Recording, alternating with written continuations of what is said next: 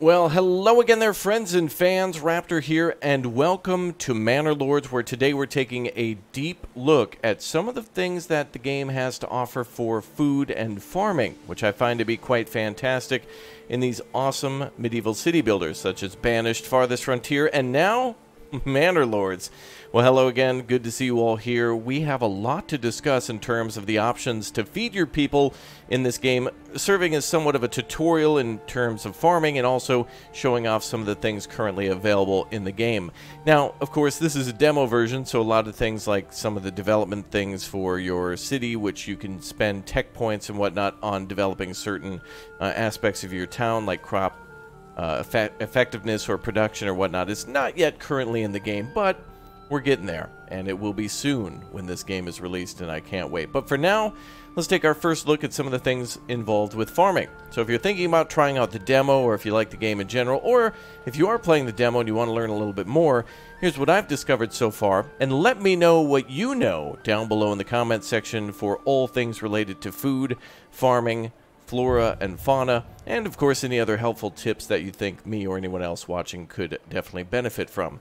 So, oh, we want to get into a little bit of farming, don't we? Yeah, it's going to be quite interesting actually to farm in this game as there's quite a few different types of uh, grains that we can choose from in order to not only make bread, but also to make beer. So let's take a look at some of that stuff now. So right in front of us we have a few farm fields here. It is now spring of, uh, I think, our fourth or fifth year in the game, and things are going quite well we've got ourselves uh, the spring season where we can do a lot of um, farming and plowing. As it says, plowing is quick for summer harvest. Uh, plowing for quick summer harvest is possible. So that's something that we can do. Right now we're growing emmer, which is essentially like wheat in a few of these places. And if we take a look here, under construction, we can kind of take a look at the fertility of some of these crops. And you can see it varies based on what we're growing. But with a few years of crop rotation, these fertilities will change and get better over time. So for example, we have an emmer field here, and we have a flax field here, and then we have two emmer fields here. Right now we can only grow flax, emmer, and barley, so those are what we're going to focus on for now, but mostly we're trying to get our bread storage up, so that way we're, of course, churning away at the windmill by doing all of that. So, we built a few farm fields here, it looks like we have four, and we have a farm here where we have people employed. Right now it's just two, so we'll have to increase those numbers. But we're just doing a little demonstration here, so it doesn't really matter too much about our setup, but we're just going to talk mostly about production chains. So people from the farm are set to an unlimited work area. So they'll work any field in, well, in this entire region. So if you can kind of see here, this whole area of Raptoria, anywhere that there's a farm in this region, they'll work in. So if we happen to build a field somewhere up here, they'll go and work up there, that kind of thing. So um, anyway, let's go ahead and focus now on some of the farm building aspects. So a farm is built very easily uh, by just literally clicking on the farm and plopping it down. It costs currently uh, four timber and one tool, and then it'll allow for, I think, 12 workers to be able to harvest all the fields. They can also plant uh, the fields and also threshing, which is basically taking the stalks of wheat, bringing it back here, and then essentially beating the grain out of it in order to then take those grains and bring it up to the windmill where it's then turned into flour. So that's kind of a production chain from field to farm to windmill to then the communal oven over here, which then turns all of that into bread, which employs three people as well. You can kind of see them working there. Um, almost it seems like one windmill that's fully working the year round can uh, be fueling two communal ovens. If we take a look up here, we have 134 flour, and that is going to last a long time in terms of its production. It's going to take a long time to produce all that. So uh, we have 43 meat, 4 berries, and 46 bread. So in addition to the farm fields here, buying us a little bit of time for making bread are two hunting camps that are also hunting wild animals that are found in the forest. So nearby, we've set the uh, limit to harvest no more than 15 remaining, so they'll be able to harvest typically from 40 is what these wild animal numbers start at. So this is like 40 deer. We'll hunt most of them aside from 15 and then let the population regrow. And so they'll kind of uh, be turned on and off as time goes on. And of course, that as an alternative food source, as well as some animals over here going back and forth, will allow us to um, then be able to buy some time to grow some other stuff. In addition to that, we also have a forager over here. The forager has just built near the berries up here, and they should be able to harvest these, I believe, all the way up until autumn. So spring and summer, berries can be gathered, and then by the time uh, autumn comes around, they decay and can no longer be harvested. So you can take this group and assign them to another task. So we have berries being gathered, we have bread being made, we have meat being gathered, but also we have little gardens, little farms at our town. So right now I'm using a um, trading post to be able to import tools. So I'm asking uh, from the money that we're generating from taxes and other things, our regional wealth, to be able to buy tools at uh, six silver per tool. So we're trying to buy five at a time. It looks like uh, the merchants that come through uh, randomly are dropping off one or two at a time. And so now I'm taking each of these little houses here uh, that we can construct and turning them into little farm fields. Now that's all based on how large they are. So when we go to build a house, we can almost turn it into a, a farm field uh, by just basically planning out the plot a little bit in advance. So if we make it big enough, like this, you can see the little plus sign above the houses allow for us to put an additional plot there behind them, but without, then they can't. So for some of these houses here that we made a little bit bigger, we can actually put a chicken coop or a goat shed here so the serfs or the peasants who work here or live here can do a multitude of different jobs. So we can actually have chickens, which will produce eggs, not meat. And we also have goat shed, which will produce milk and no meat. So that's something that we can actually do as kind of a passive income, although it'll take either gold, rather silver to do, but also we need to import the animal from the livestock trading post. So once we, we build the livestock trading post, we can buy more oxen, which will help us to transport things around the city a lot faster, and also sheep and lambs. So that way we can, of course, make wool and other things too, but they might also eat some of the things that we're producing from the fields. So like for example, uh, maybe perhaps the fallow fields they can eat from. I haven't gotten that far just yet. I have a lot more experiments to do, but that's something that I want to unlock over time and figure out exactly how that functions. Now, another thing to consider in this game is the beer production and also pastures. So, uh, the sheep farm works just kind of like how the regular farm does in terms of uh, building a sheep farm and building a pasture that work together. So, the sheep will essentially stay at the sheep farm and then they'll go out to pasture whenever it's time to eat. And then in the winter months, the uh, sheep will be able to be tended to by employees that work there and uh, might be able to bring over things like water or food that they need in order to take care of them during the winter months. Wow, look at all that rain. That is absolutely gorgeous.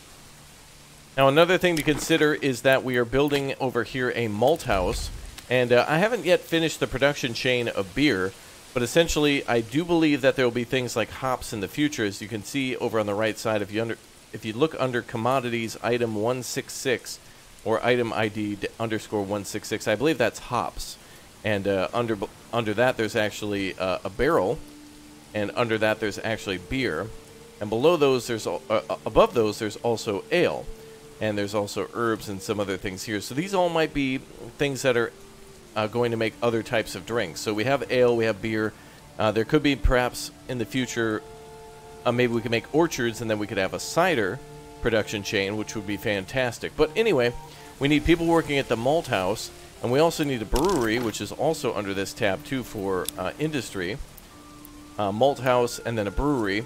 So that will turn malt into ale, and then either we can sell that from our trading post under the, uh, I think it's under the food tab, or maybe it's under a commodity. There it is, ale, under commodity. Or we can sell it at our tavern up here.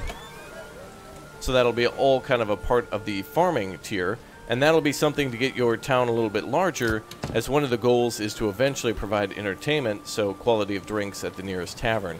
So right now we're not serving drinks, but uh, with a little bit more work, we can get this building up to tier 2. So it kind of works like how it does in Anno 1800, or like how it does in, um, well, many, many of the uh, Emperor games, or Pharaoh, or the uh, Sierra City Builders, where we need to provide certain types of goods before the upgrade can take place. So in this case, uh, farming is a lot of this, actually. Uh, food, of course, through farming. Clothing, of course, through flax and leather, so hunting. And uh, we can also do yarn, too. So you can gather uh, cloth by making flax into linen at a weaver and then deliver that to a shop where it then, then can be delivered to your people uh, in order to make their own clothing.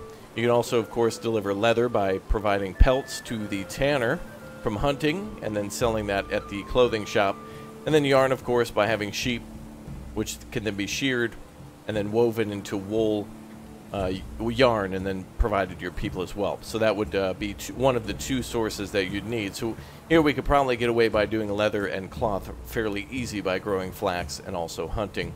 Entertainment will be the last thing then by pro providing beer, and faith, of course, is just by building a church, which is something completely different. So now we have another tool in store for us, so we're going to pick a house that uh, we can expand a little bit. Can't necessarily see which house it is by clicking on some of these here, but we could try to click on some of the bigger houses, such as this one, which can be upgraded to have a vegetable garden. Alright, construction started.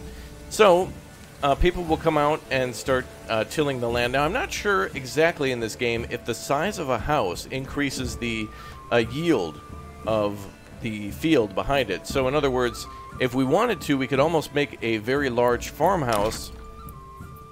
And I'll show you an example here if we can do it. So if we can do this, we could almost get away by having one house. Or in this case, two. But if you see the layout here, would this house here provide a lot more carrots than this house, for example? Not sure, but that's something I'm going to have to discover. But under food, that's another way to produce that food. So we have meat, which is provided from hunting and or possibly the culling of animals. Perhaps there's a way at those sheep and goat farms to be able to set a limit so that way those animals will be harvested earlier, if you know what I mean. We also have berries from foraging, bread from the production chain I showed off, and then I'm not sure what some of these other ones are. I'm not sure what item 173 and 152 are. So if you think you know, let me know. There's also salted meat, which of course we can have salt mines, so that's another food source for us eggs from chicken, and then milk from the goats. So a few more things that we can eventually uh, produce and or gather. Now again, there's rye in the game, there's barley, and there's also emmer. So of course the rye will just provide a different type of uh, fertility. and you can actually see it here too. Yeah, we have uh, rye fertility, which is very hardy and would grow perfectly in this valley. We have barley, which wouldn't grow so well except for over here, but unfortunately we have our animals. We have flax, of course, but again, not great. But we can always increase the fertility by doing years and years of fallow and then eventually harvesting. And then emmer too. And also underground water, although I don't see underground water being any sort of factor in the fertility. It seems to just be where you can build wells, which kind of dictates how close you can build towns to certain things. Although one well here has been able to uh, provide most of the uh, town with water. It's actually right on the other side over here. But anyway, the wells themselves don't seem to be a factor. Here's another one as well. As well, uh-huh. But yeah, they don't seem to be necessary for anything other than the citizens. So, in other words, the well's not needed to produce bread.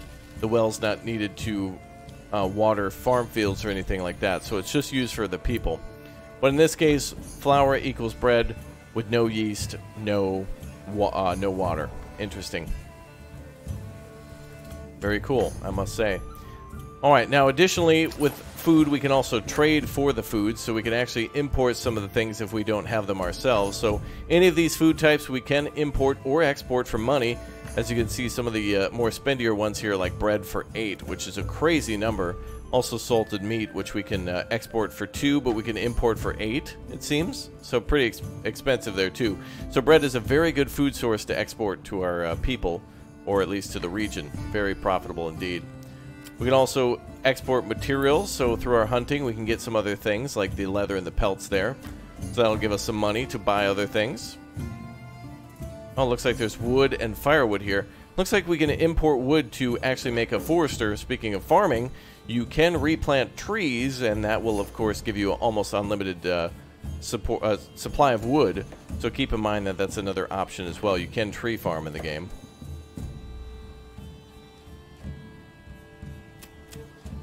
And just taking a look at anything else worth mentioning under some of these tabs.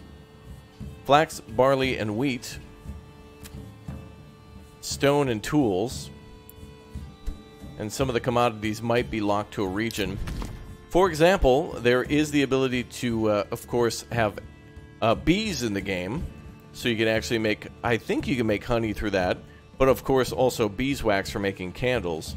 But then you see salt deposits here, so that's how you'll get some of those uh, food sources like salted meats. And then, of course, more animals around for you to hunt, where I don't see them often going much over 40. And if they do, it's pretty rare. Berries over here, too. We can expand to other regions based on our influence. So, with a certain number of influence, we can actually expand and claim other territories, and that will allow us to expand our influence. Now we have 1,400, so if we wanted to, uh, let's say go over here for uh, the extra stone, or if we wanted to go north for the extra land, uh, we could claim this territory, although I believe it's not available in the demo, unfortunately. Alright, cool. Oh wow, look at that. Oxen doing their job.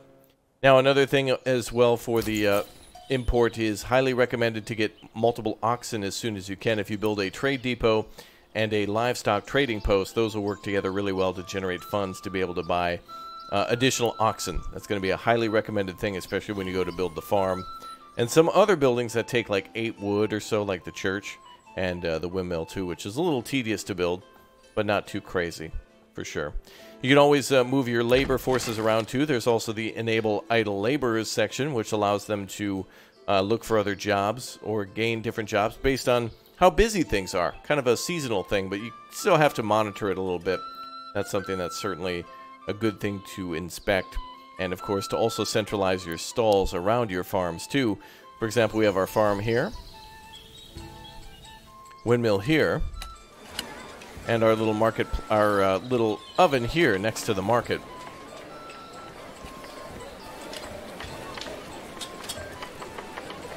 Things are looking pretty cleared out, but we certainly have a lot of food now. 42 meat, one berry, 41 bread, and lots more food on the way for the year, especially with the autumn coming eventually, with it being April. Very soon we will have ourselves another winter and this allows us to gather things like uh, fuel and focus on some other stuff. Additionally, we have a granary nearby that is uh, fully stocked. Looks like we might need to build more than one of that. That stores not only completed food, but also raw food stores, like, for example, wheat and grain themselves. So it might be a good idea to build multiple granaries at the same time. Maybe one by your hunting posts, and maybe one by your, um, maybe your mill and some other stuff in order to store flour as it moves in between. And also store bread before it's brought to market, as your market stalls do have limited storage of 15.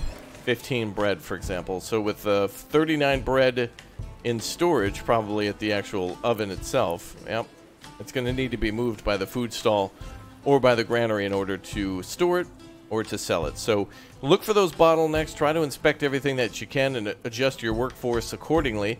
You can always have idle workers Ooh, looks like we paid our royal taxes. Huzzah.